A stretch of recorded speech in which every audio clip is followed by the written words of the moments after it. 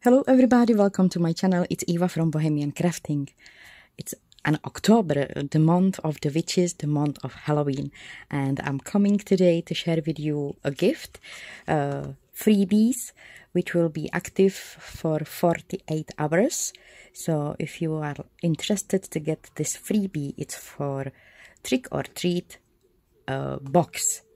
And it's this coffin box with some other stuff, uh, some uh, tags and mini tags and number, and you can use these uh, in your journal as well. So if you are interested to get these, click on the link down below. It will be active for 48 hours.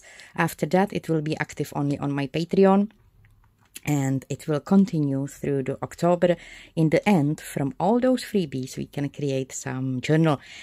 So today it will be this trick or treat coffin box. Uh, I did print out on A4 size. The design is also on A4 size uh, printing paper.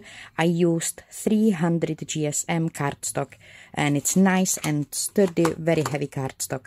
I'm gonna fussy cut out all these images. I did fussy cut out everything. I'm gonna grab the ruler and my scoring tool. I'm gonna move these small things and I'm gonna be using this tool. Uh, it does have a ball on the end and it's perfect for scoring uh, small lines, you know, without scoring board.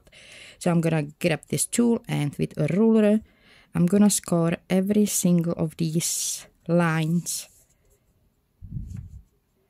on the coffin to make sure I can fold it then easily so every single line I'm gonna score with this. Also these small lines for the folds to make sure that putting together this mini box will be easy for me. If you don't have tool like this you can always use non-sharp edge of your scissors like with this one but uh, do not put it this way but just slide it. Or you can use kitchen knife and with that end or maybe tweezers. And either with this end kind of this way or with this end. Just try to have a look what you've got. Or if you do have knitting needles so some small size of knitting needle will be very helpful as well so go to have a look what kind of tool you can use.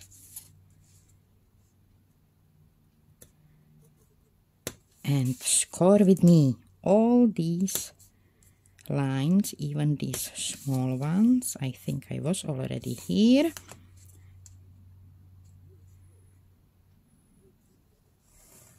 So we're gonna score and last one it's this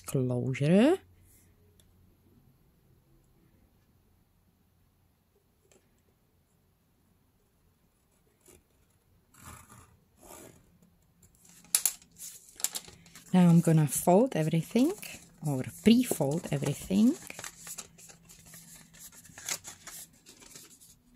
to check if I did all that. Oh, here I forgot the cat. Look at me. Uh-huh. Uh-huh. I forgot.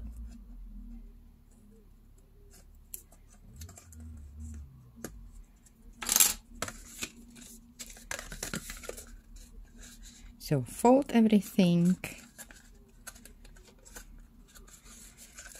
make sure you will have easy work to put it together.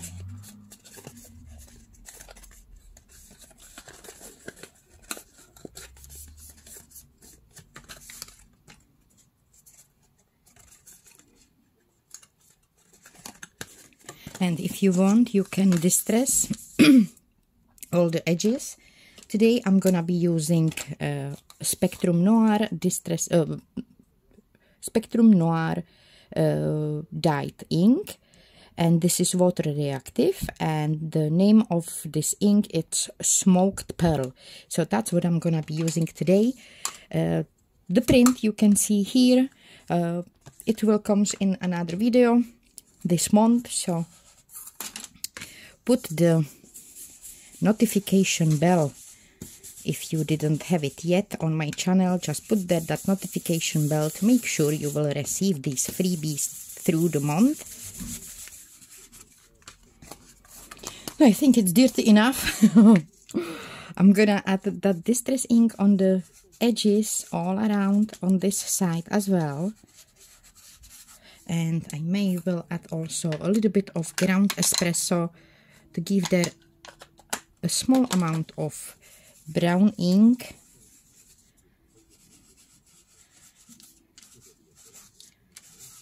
so I do have distress everything and we can start to put uh, this coffin together uh, all these small flaps are used to hold a glue. There is small writing that glue belongs here, here, here, here on all these small flaps. This one I'm using as a closing closing fold so I'm not gonna put the glue in there. Add the glue to the folds and start to glue it together.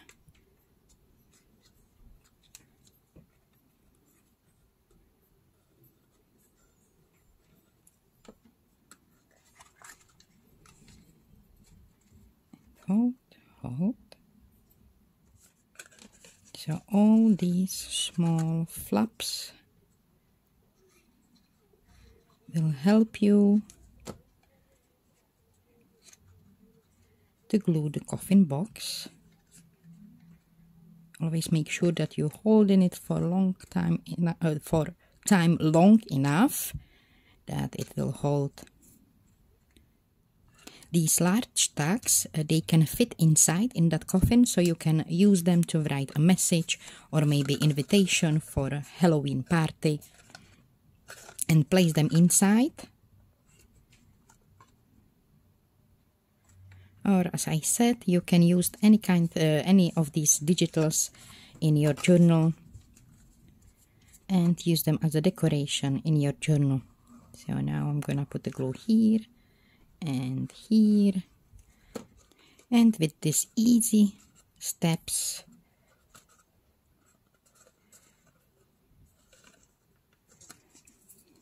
you have created cute little coffin. So you can close it with this fold inside. And you do have your small little coffin.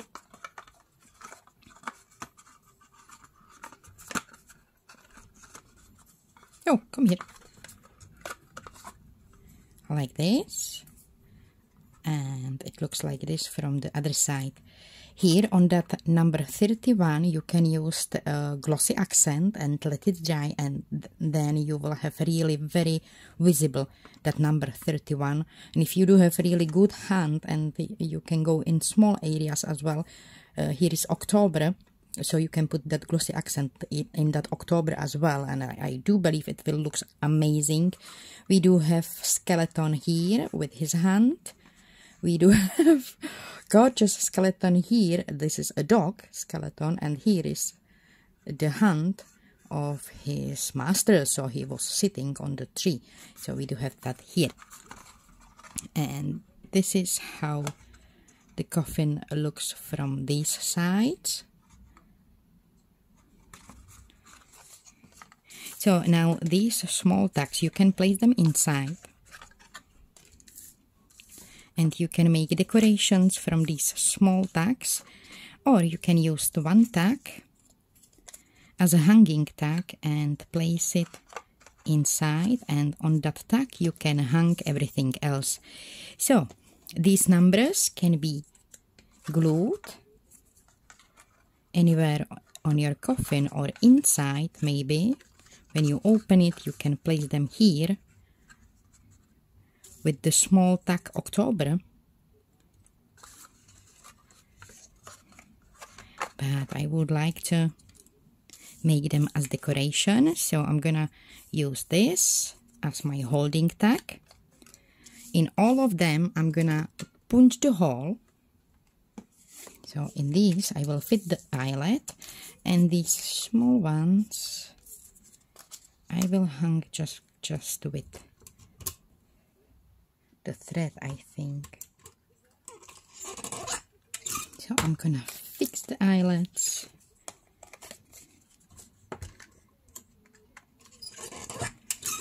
And I hope you are getting ready for your Halloween.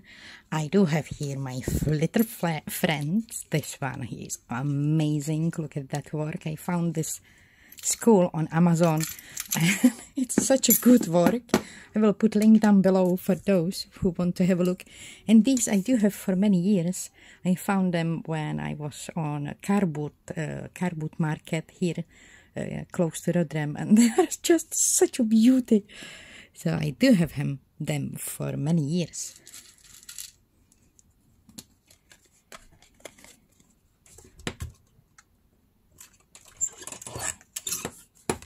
I do have eyelets fixed. So for fitting my little mini tags to that coffin, I'm gonna be using this Broadway Hotel from Salem, this mini tag to fit uh, my tags inside. Uh, I stamped from the other side uh, with my stamps. I'm gonna put a glue on the bottom of this mini tag and glue it here to that top from inside. And I make a nice position in the middle. Like this. And while it's drying I'm gonna take a piece of cheesecloth. Do have piece of cheesecloth right here. And I'm gonna rip small part which will fit inside to that coffin I do have piece of cheesecloth right here. Yes I'm gonna make it a little bit dirty using my distress ink. I'm gonna add here and there just a just a little bit of color. And to place it into that coffin I'm gonna take glue and glue that cheesecloth inside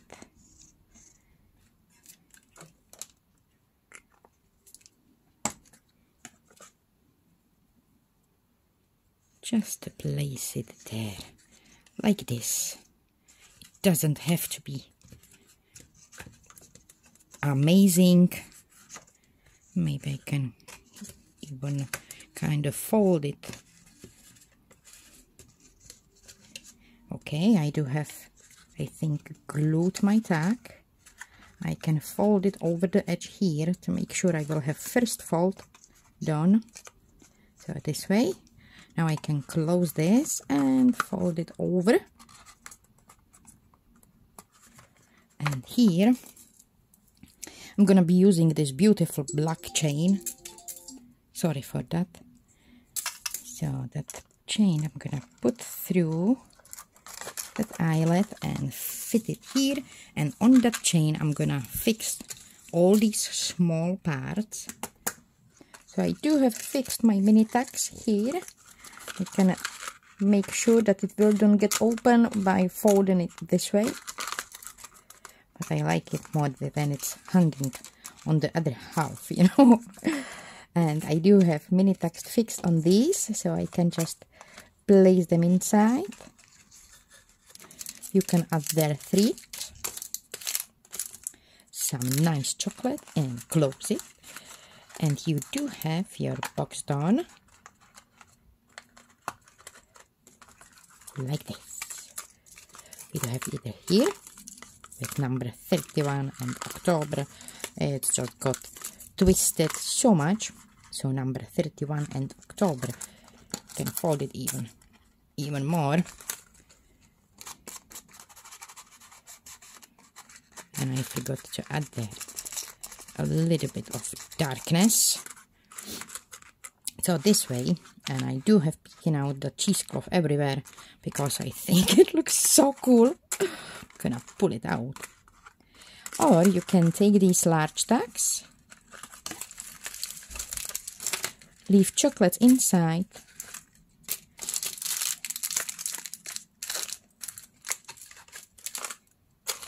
and with these large tags you can create mini journal So I do have here prepared bunch of papers and I'm gonna fold them to the size I can fit into this coffin shape. So I'm thinking somewhere here. Then I'm gonna put that coffin with this long straight side to the fold of my page and draw the pattern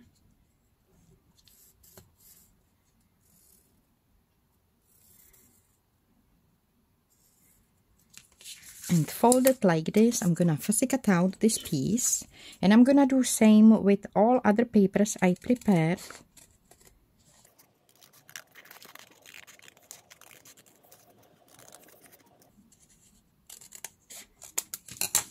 So I do have opening here on that long side. And I will do this cutting with all of my papers. So I'm gonna fold them cut this the shape and then I will come back. So I do have few of my papers cut into the, the size of the tag and I'm gonna place them somehow to one signature.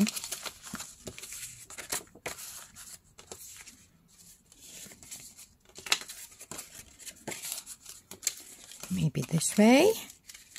I do have one signature with all kinds of different papers I do have my two tags and I was thinking this could be really beautiful as a cover and this one I will have as a back, uh, back cover. So I'm gonna put these together with the small gap between. Uh, I'm gonna take this medical tape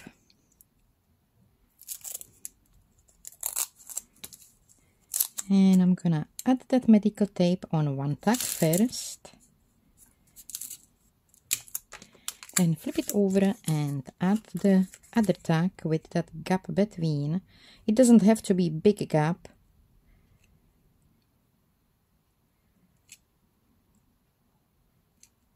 Just good to have that small little space like this. I'm gonna fold this over and I'm gonna add that medical tape from this side as well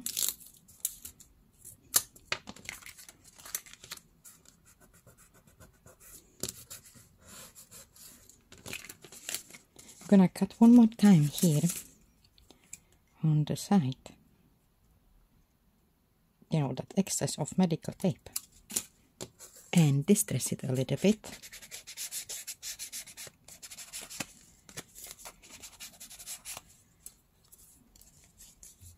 So I do have front and back cover. Now I can take a needle and thread but because I wanna sew this book um, I will add there also fabric tape. Maybe I should start with that. I'm gonna add here inside fabric tape to make sure uh, you know it will don't get ripped off because that medical tape it is paper. It's strong but still it is paper.